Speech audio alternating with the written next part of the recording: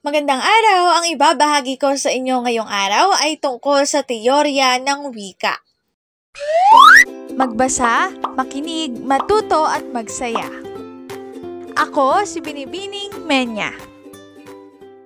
Handa na ba kayo?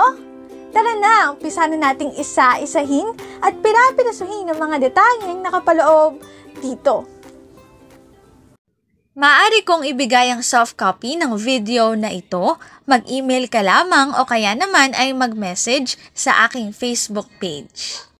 Ilalagay ko ang aking email sa gitnang bahagi ng video at ang Facebook page naman ay sa huling bahagi matatagpuan. Maraming salamat sa panonood! Katulad ng binanggit ko kanina, ang ibabahagi ko ngayong araw ay tungkol sa teorya ng wika.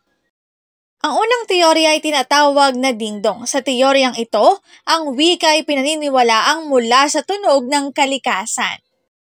Halimbawa ay tunog ng mga kawayan, o kaya naman ay ang pag-ihip ng hangin, o kaya naman ay ang pagdaloy ng tubig sa batis. Ang ikalawang teorya ng wika ay ang teoryang bawwaw. Ito ay pinaniniwalaang ang wika ay mula sa tunog ng hayop, partikular na sa aso.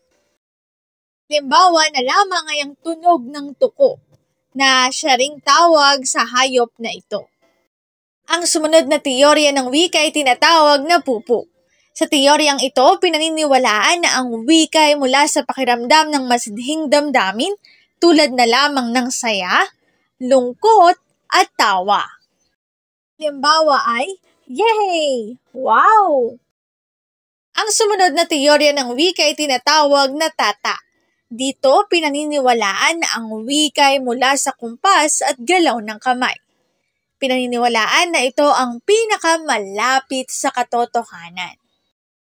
Sumunod naman ay ang yohehu na pinaniniwalaang ang wika ay mula sa tunog ng pisikal na puwersa. Halimbawa na lamang ay ang karate. Panghuling teorya ay tinatawag na tarara bumdiay. Sa teoryang ito, pinaniniwalaan na ang wika ay mula sa mga ritual.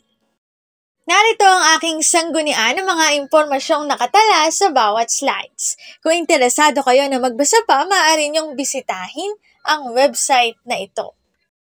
Teorya ng Wika Dito na nagtatapos ang aking pagbabahagi. Sana ay marami kayong natutuhan. Muli magbasa, makinig, matuto at magsaya. Ako si Binibining Menya. Paalam!